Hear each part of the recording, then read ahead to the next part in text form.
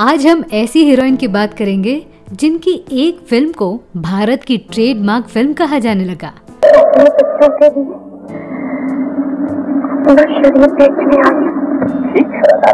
ऐसी एक्ट्रेस जिन्होंने 40 के दशक में अपने बेहतरीन अभिनय से दर्शकों के दिलों पर अपनी अलग छाप छोड़ी। देखो देखो तो मैं माँ होकर भी अपने बच्चे के लिए नहीं तड़पती वे एक ऐसी महिला थी जिनकी एक्टिंग बाकी अभिनेत्रियों से अलग होती थी।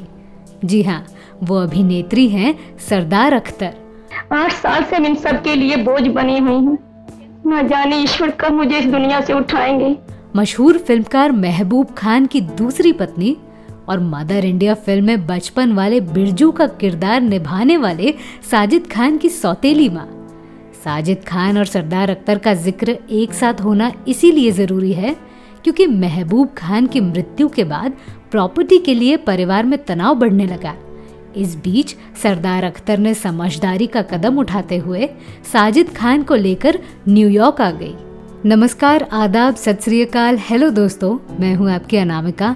मैं सुनाती हूँ किस्से, कहानियाँ और भी बहुत कुछ आपके अपने चैनल पर। जिसे कहते हैं biography and real life story कुछ लोगों का इतिहास नहीं होता। वे खुद इतिहास के एक अंश होते हैं। भारतीय सिनेमा के इतिहास में सरदार अख्तर भी एक अंश है, जिनका इतिहास कोई नहीं जानता। यहाँ तक खुद साजिद खान भी अपनी माँ के बारे में ज़्यादा जानकारी नहीं दे सकते। सरदार अख्तर का जन्म एक मुस्लिम परिवार में साल 1915 में अविभाजित भारत के लाहौर में हुआ था। उनकी फिल्मोग्राफी पर नज़र डाली जाए तो पता चलेगा कि उन्होंने 17 साल के उम्र में ईद का चाँद इस फ़िल्म में पहली बार अभिनय किया होगा। पर असल में उनका रिश्ता थिएटर से जुड़ा हुआ है। फ़िल्मों में एंट्री लेने से पहले वो मदन थिएटर कंपनी की परमानेंट कलाकार थी। ये जो मदन थिएटर है, इनका अपना इतिहास है।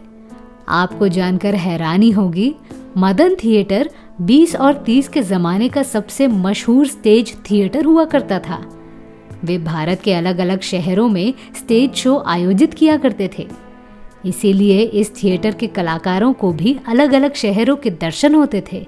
सरदार अख्तर को भी अलग अलग शहर देखने का मौका मिलता। इस तरह से उनका मुंबई आना हुआ। मुंबई में होने वाले एक शो में उस जमाने के मशहूर फिल्मकार आनंद प्रसाद कपूर भी दर्शकों के बीच बैठे थे। शो के बीच में आनंद प्रसाद कपूर को सरदार अख्तर की कलाकारी पसंद आई और उन्हें अपनी कंपनी में आने का प्रस्ताव भेजा। तो इस तरह से सरदार अख्तर को फ़िल्मों में काम करने का मौका मिला। उस वक्त कलाकारों को स्टूडियो के साथ कॉन्ट्रैक्ट पर काम करना पड़ता था। किसी दूसरे स्टूडियो के लिए काम करने की अनुमति नहीं मिलती थी।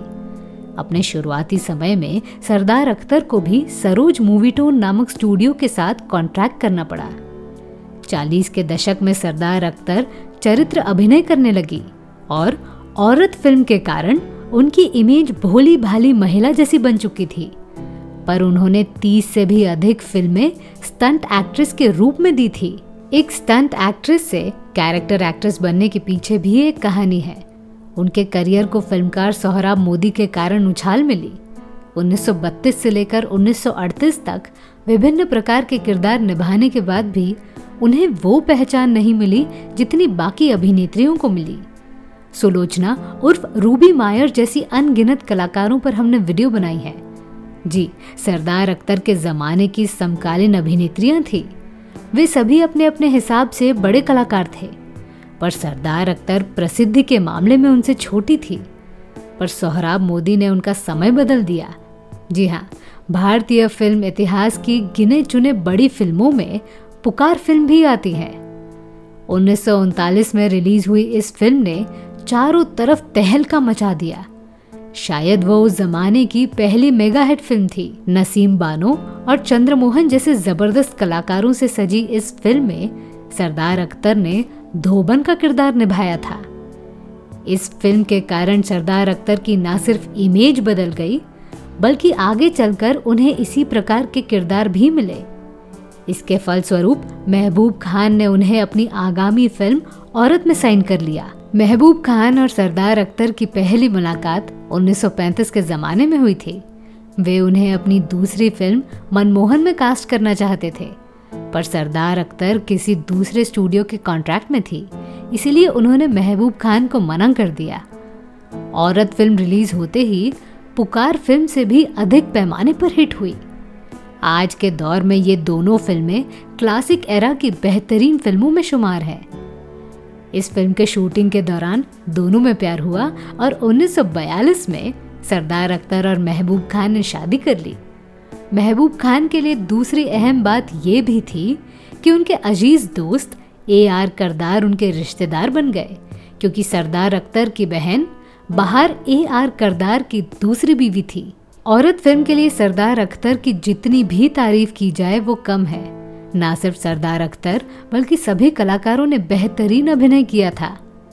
कन्हैया लाल, लाला के किरदार में थे तो बिरजू का किरदार याकूब ने निभाया था। औरत के बाद उनकी दूसरी फ़िल्म अली बाबा उसी साल रिलीज़ हुई। पर बॉक्स ऑफ़िस में उसने कोई बड़ा कारनामा किया नहीं। शादी के बाद सरदार अख्तर ने फ़िल्मों में काम करना बंद कर दिया। पर वो अपने पति को कास्टिंग और स्क्रिप्टिंग में हमेशा मदद करती थी। शादी के बाद रिलीज़ हुई राहत और फ़ैशन उनकी आखिरी फ़िल्म थी। यहाँ एक और बात बताना चाहूँगी। भारत पाकिस्तान विभाजन के बाद बहुत सारे मुस्लिम कलाकारों ने पाकिस्तान जाने का फैसला लिया। ए आर करदार समेत महबूब खान भी पाकिस्तान बस गए। पर वहाँ कुछ दिन गुजारने के बाद वे सभी एक साथ भारत लौट आए। उन्नीस के बाद सरदार अख्तर ने फ़िल्म जगत से पूरी तरह से संन्यास ले लिया, पर वे तब भी फ़िल्म जगत से जुड़ी हुई थी। उनकी बदौलत बहुत सारे कलाकारों को फ़िल्म जगत में काम करने का मौका मिला, जिसका ज़िक्र हम अक्सर करते हैं। महबूब खान से सरदार अख्तर को कोई संतान नहीं थी। मदर इंडिया फ़िल्म के निर्माण के वक्त साजिद खान नामक एक बाल कलाकार को उन्होंने गोद ले लिया। मदर इंडिया में छोटे बिरजू का किरदार निभाने वाले साजिद खान की कहानी भी दिलचस्प है। उनके वीडियो की लिंक डिस्क्रिप्शन बॉक्स में मिल जाएगी। साजिद खान को सरदार अख्तर ने बहुत प्यार दिया और अच्छी शिक्षा भी दी।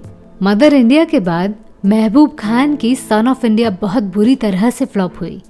असल में मदर इंडिया के बाद महबूब खान की कोई भी फ़िल्म चली नहीं। उन्नीस में हार्ट अटैक के कारण महबूब खान चल बसे। पर पीछे प्रॉपर्टी को लेकर सवाल भी छोड़ गए। महबूब खान का महबूब स्टूडियो में ढेर सारे फ़िल्में बनती थी। इतने बड़े प्रॉपर्टी के मालिकाना हक के लिए बहुत सारे लोग आगे आए और सरदार अख्तर अपने बेटे साजिद खान को लेकर हमेशा के लिए अमेरिका बस गई। वहाँ उन्होंने साजिद खान को अच्छी शिक्षा दी। इसी कारण से गरीबी में पैदा हुए साजिद खान हॉलीवुड के स्टार कलाकार बन गए। सरदार अख्तर भी लंबे अरसे तक हिंदी फ़िल्म जगत से दूर रह नहीं पाई और बुढ़ापा चढ़ने के बाद भी उन्होंने हिंदी फ़िल्मों में काम करने का बड़ा फैसला लिया। बेहतरीन कॉमेडियन और डायरेक्टर ओ पी रलहन द्वारा बनाई हुई 1971 की सुपरहिट फ़िल्म हलचल में सरदार अख्तर ने एक बार फिर से अभिनय करके दिखाया। पर दुर्भाग्य से उनकी सेकेंड इनिंग सफल हो नहीं पाई। और 2 अक्टूबर 1986 में दिल का दौरा पड़ने के कारण उनका देहांत हो गया। उस वक्त वो न्यूयॉर्क में थी। दुर्भाग्य ये भी था कि वो और उनके बेटे साजिद खान तब भी केस लड़ रहे थे। असल में दो दशक गुजर जाने के बाद भी महबूब स्टूडियो और मुंबई के तीन फ्लैट को असली वारिस मिला नहीं। कहा जाता है कि आज भी ये मामला कोर्ट में पेंडिंग है। तो मैं थी आपकी अनामिका। मेरी सुनाई हुई कहानी आपको कैसी लगी ये हमें कमेंट सेक्शन में ज़रूर बताइएगा। और हमारे channel biography and real life stories को सब्सक्राइब करना न भूलें। नमस्कार।